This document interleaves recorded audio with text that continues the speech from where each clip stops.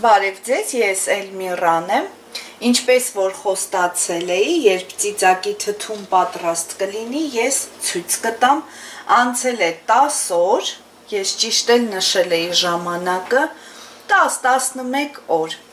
Շատ լավ ստացվել է մեր թթուն, ոչ մի հատիկ, ոչ լղկվել է, ոչ գույնն է փոխել։ Շատ-շատ լավ է ստացվել այս բաղադրատոմսով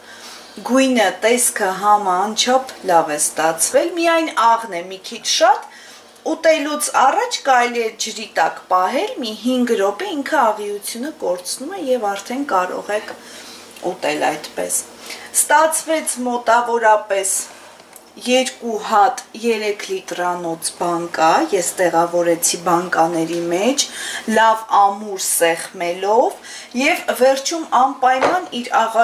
աղաջուրը կլցնեք բանկաների վրա միջև վերջ, որ ինքը ծածկի։ Կարող եք փակել եւ դնել այսպես սառնարանում կամ հովտեղ։ Այսքանը նույն բաղադրատոմսը կա նաև ռուսական ալիքում, կարող եք հետևել, լինկը բաղադրատոմսի ներքևում է։ Այսքանը ուզում եի ուղակի ցույց տայի։ Ձեր հետ Էլմիրաներ, իմ ալիքը Էլմիրա Food Court-ն է։ Բարի ախորժակ, ցտեսություն։